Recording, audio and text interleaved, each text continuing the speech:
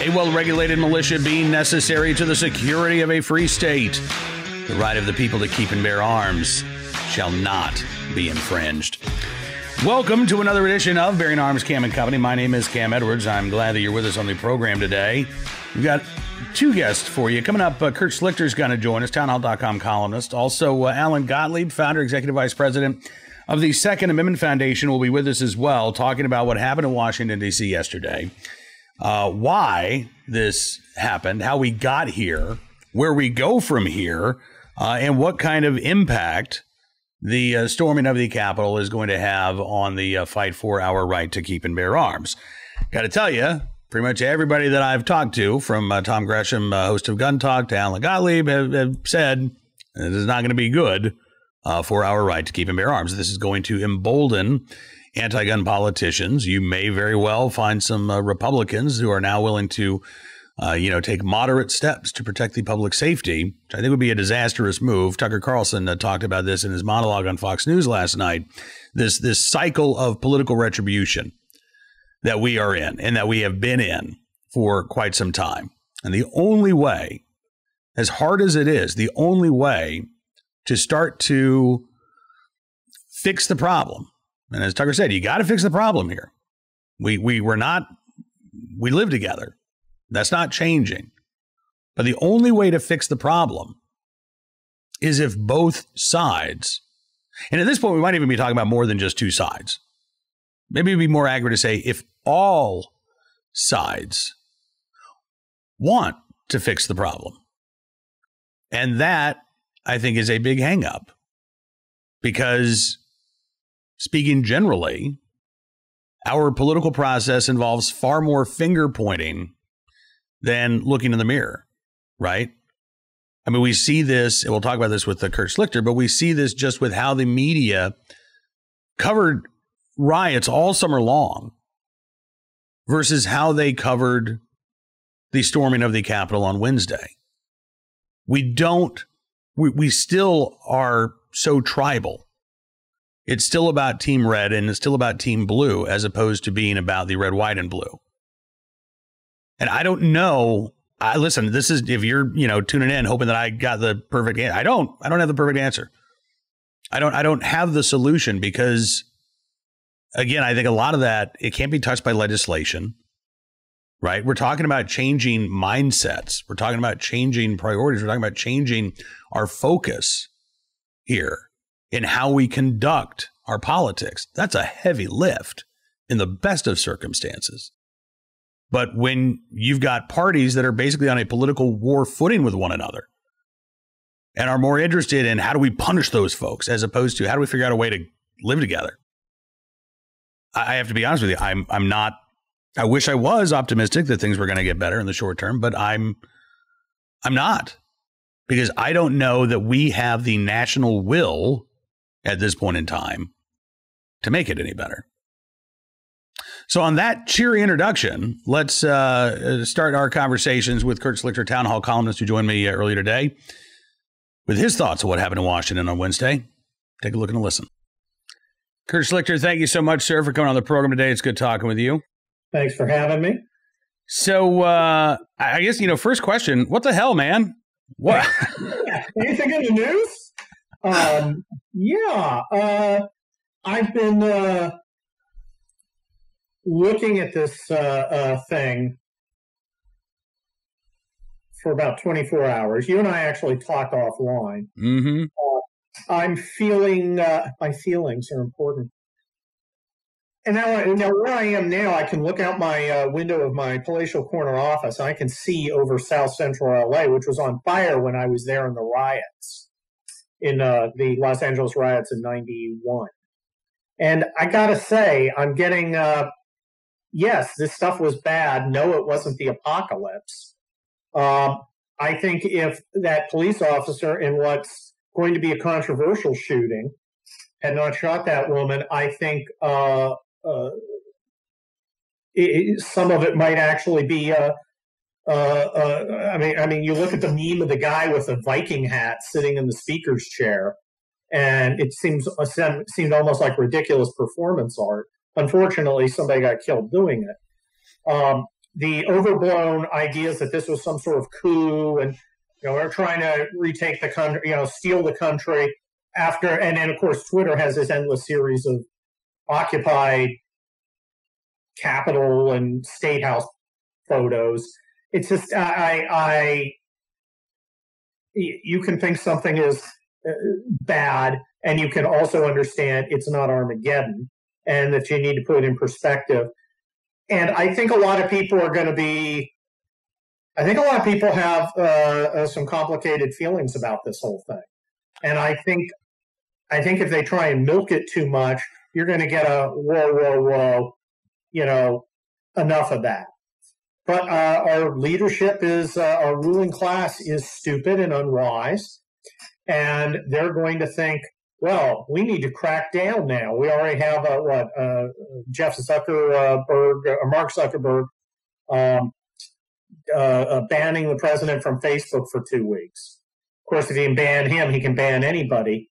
And, um, you know, I, I want to reaffirm that there's no you have no reason to be protesting a double standard, and I'll prove that to you by uh, by imposing a quadruple standard. Yeah, I mean, you know, look, as you say, there there are our media is really bad at complicated issues, right? We love our simple narratives, um, and so you know, you and I have both said uh, that what happened yesterday uh, was not good. It's not good for the country. It's not good for the conservative movement. Uh, certainly not good for uh, uh, Donald Trump and uh, his legacy. It's not good. Um, but you know, I, I saw the same uh, old headlines that you did, Kurt, going back to the summer, where I think it was uh, German Lopez at Vox talked about. you know, the headline was something about you know we should listen to those who are rioting. Yes, riots are bad, but we should listen to those who are who are rioting so we can learn why it's happening. Uh, and then yesterday, the headline was arrest everybody. Right, we don't need to listen to them, and mm-hmm. and and this is the problem. And and and you mentioned this, and Tucker Carlson talked about this in his monologue last night. Uh, I wrote a little bit about this at Bearing Arms today as well. You know, we can all agree, oh, this is bad. Uh, and we can all agree, you know what, this was not an isolated incident. This is this is part of a cycle that has been going on for years, if not decades. But you know, until both sides are ready to de escalate and to place themselves off of a war footing in terms of the, you know, political retribution uh, that they want to inflict on their ideological opponents, this keeps happening. I mean, that, that's that's just the long and short of it. It can't not keep happening. I mean, have these people never met other human beings? Uh, you know, we've got a whole bunch of military guys in there the uh, the most basic rule of insurgency is insurgents like to provoke the authorities. They provoke the authorities to get an overreaction. The overreaction spins more people into their uh, into the insurgents' uh, uh, corner because they, they they've now seen okay, I now feel I have no alternative but violence, and you know I I I'm horrified by the thought that these ideologues backed up by idiots uh, in the GOP decide, well, we better we better. We better we, we better ban guns now, and then you know, holy crap! Now now you got a whole bunch of people who are going, well, that's bad and and and, and absolutely polarize it. Now, the the, the the the smart thing would be Joe Biden walking out saying, "I want to unify," and to show that I'm serious. You know, I'm going to do. I'm not going to do X, Y, and Z that people have said. I'm, not going to pack the cord. I'm not going to do this. I'm not going to do that. Uh, you don't have to worry. It's time for everything to de-escalate. I'm going to encourage a, a civil uh, discourse as opposed to civil conflict. I, and I'm going to, and you know, I'm picking up the phone and I'm calling uh, Mark Zuckerberg and I'm saying you got to stop, you got to stop silencing people who disagree with me. I know you don't like them. I don't like them either, but I can't have a system where one side feels it has no avenue to express itself. And I'm going to appoint an election commission. I think the election was absolutely fair. But I'm going to appoint an election commission with people from all stripes uh, to go in and take a look and see how we can do better. And I want to put people's mind at ease. So that's my that's my plan. I'm the guy asking for unity. I'm going to make the first steps. Hold me to them. And I think people would go, eh, I don't know if I believe him. But if he holds to them, people would go, okay, because people want to get back to a system where we had a civil society. But if, if, if your choices are civil society, leftist oppression, or we fight back, you know, A and C are potential options. B isn't. Unfortunately, you're right. Hey, Kurt, I think we're going to have to leave it there, my friend, but uh, I thank you very much for coming on the program. Actually, I've got one last question for you. Uh, um, you know, look, I mean, you, you you've written a, a series of books. Uh, Crisis, I believe, is the uh, the latest one uh, that that talks about and and explores the idea of this country that has been ripped apart when the leaders did not uh, you know, uh, actually try to return us to a civil society. When, when again, this escalating cycle just continued. Yep. Do you think that we can avoid that future? I mean, is, is it? Uh, or, yeah. Uh, my, my, books are a warning, not a how-to, and, uh, and as further evidence of the problem where reason is being put aside. I write my books. I write, and you've read all of them. You read them before they come out. You know the preface where I'm saying this is a warning. You know, my one of my first memories was Gettysburg. I walked through Civil War battlefields in Kosovo.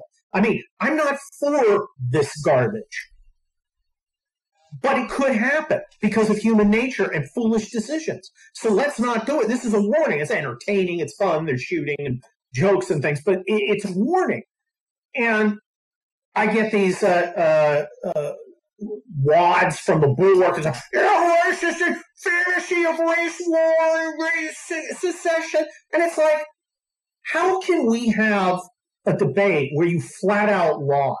So we're not talking about the issues. We're talking about, we're, we're just defending ourselves against freaking disgusting slander by people who frankly aren't fit to lick my combat boots. Uh, although some of them are kind of hefty and probably would, uh, you know, just for the calories.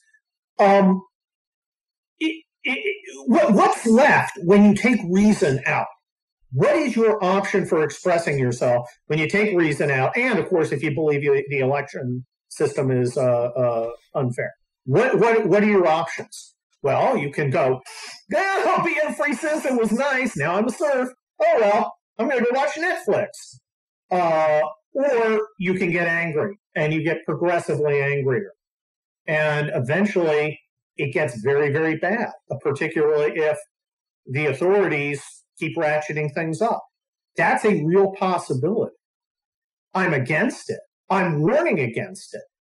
But now, now the mere act of warning against it is now advocacy of it in the eyes of these idiots, and I don't even know where to go with that. Well, that again, I mean, that gets back to part of the problem, right? In order to actually fix things, you got to have both sides willing to make a good faith effort, and uh, I think we've got, you know, a lot of folks uh, on both sides, quite frankly, who are not there yet, if they're uh, going to get there at all. Kurt Schlichter, we're going to leave it there, my friend. But thank you so much for coming on the program, sir. It's good talking with you today.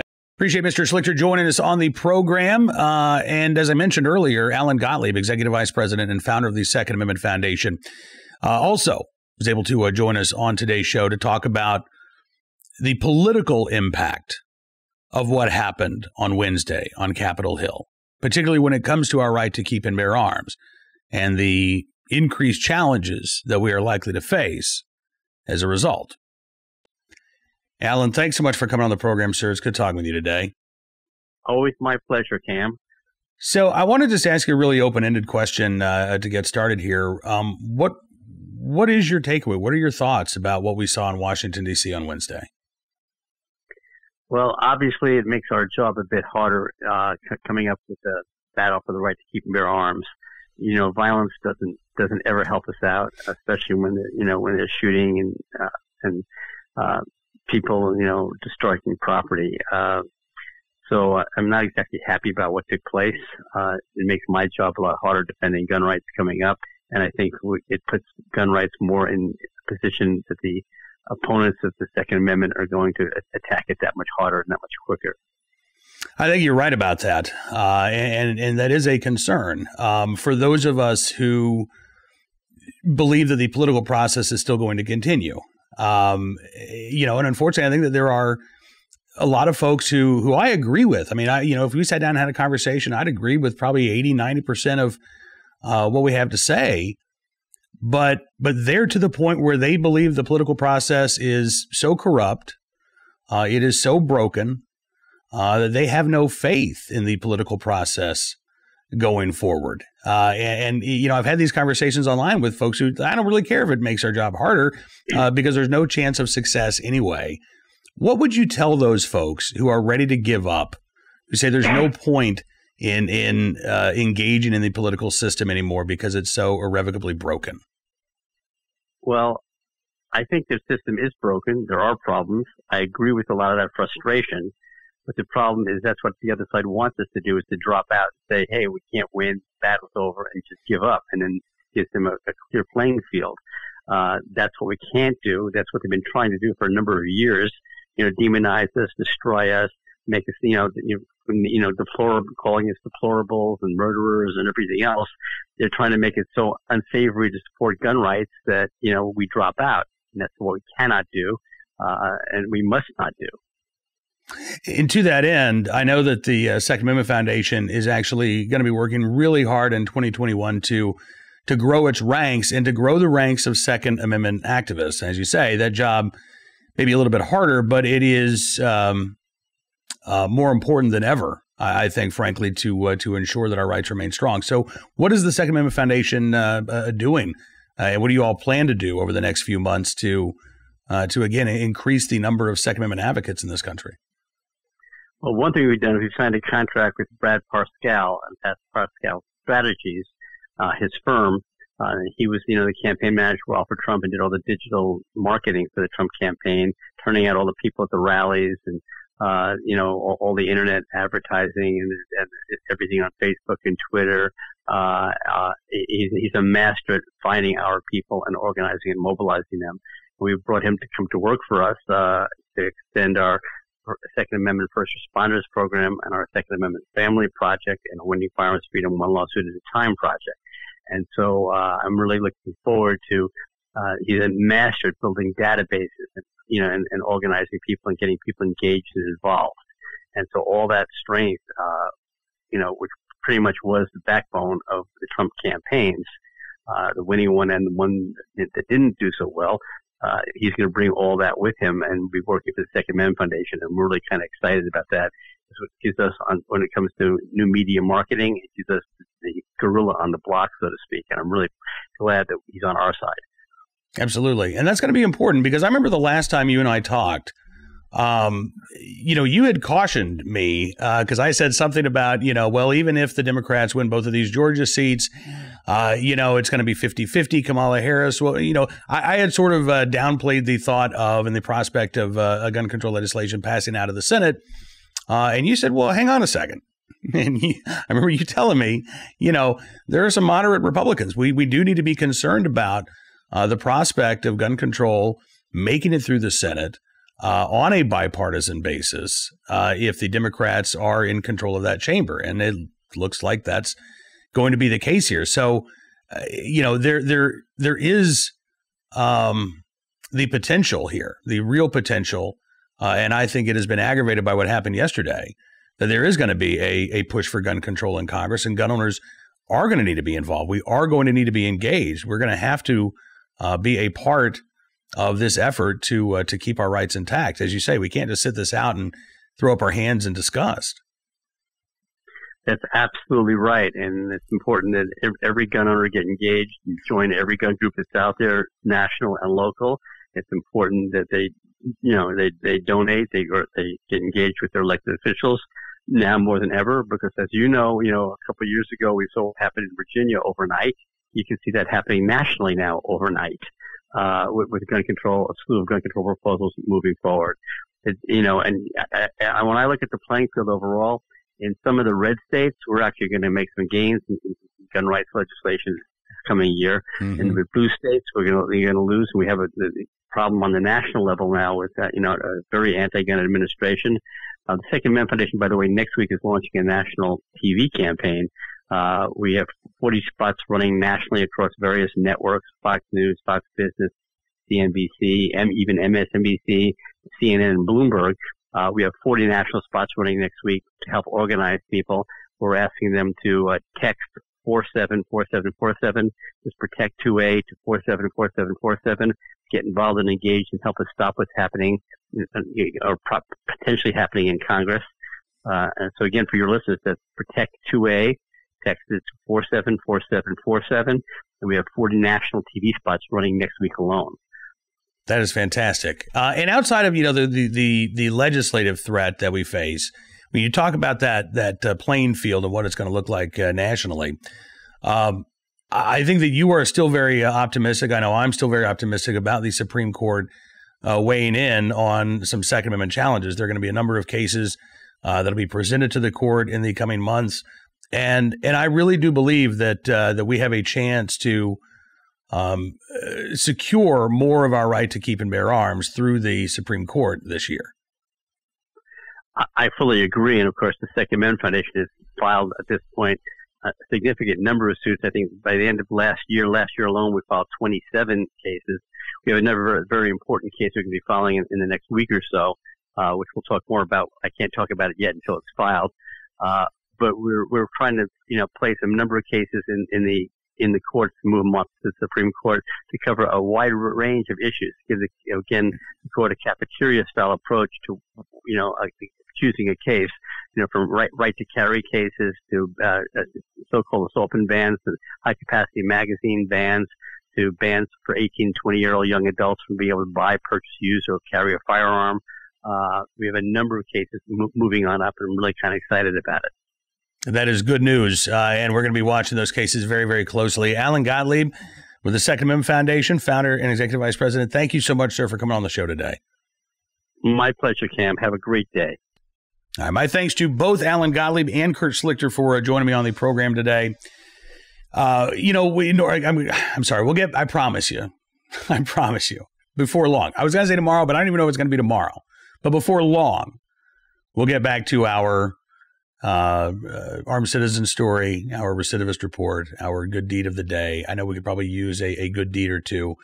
Uh, on tomorrow's program, we're going to talk with uh, Virginia State Senator Amanda Chase. She is running for the Republican nomination for uh, governor in the state of Virginia. We spoke with Kirk Cox on the program not long ago. He's also running for governor in the state of Virginia. And I would like to thank both of these candidates for giving me the opportunity as a Virginia voter to sit down and talk with them and ask the questions that I think Virginia voters, particularly those on the right, uh, want answers to. And so I'm looking forward to uh, this conversation. I think it'll be a, a, good discussion. I encourage you to check that out tomorrow.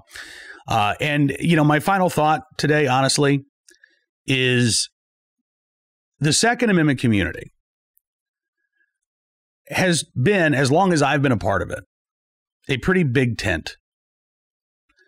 We have our disagreements, obviously. I mean, getting the Second Amendment community to work together sometimes is like herding cats because we're all believer. Well, the vast majority of us are, are believers in individualism, right? We care about our individual rights. We care about our individual liberties. We care about these things. And so we love to disagree with one another when we see, you know, whether it's, you know, the uh, our, our, favorite type of firearm, whether it's the best, you know, caliber of ammo to use, uh, or whether it's, you know, how far down this road are we? We have our disagreements, but we have always been able to come together in defense of our right to keep and bear arms. We are a Big Tent movement. And, you know, if I'm going to end on an optimistic note, and it's a small one, I'll be honest with you, it's a small one.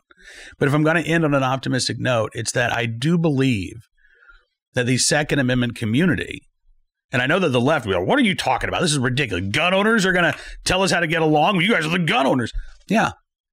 I think gun owners can actually provide an example to the rest of the country as to how people who disagree on any number of issues can get along when they are able to find some sort of common ground.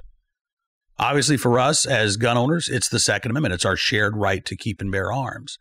It's not going to be that for everybody, but we do have the chance if folks are willing to look, uh, to be a beacon, to be an example of how you can get millions of Americans who don't march in lockstep with one another, but who can find a way to find some common ground for mutual benefit. That is how politics is supposed to work. That's how it's supposed to function. And it'll help our country function if we get there. And again, I would like to think that you and I and other Second Amendment activists have a role to play in actually teaching the rest of the country how to get along a little bit better than we have been. Small note of optimism. I might be fooling myself. I don't think so, but I'm willing to consider the possibility. All right. Have a great rest of your Thursday. Uh, I do appreciate you being a part of the program. I'm, by the way, I, I don't normally have a chance to do this, but tonight I am going to be reading the comments. I am because I want to know what you have to say. Whether you're telling me off or you're giving me a pat on the back, I want to hear from you. I don't just want you to hear from me. So we'll be back tomorrow. Until then, be well, be safe, and be free.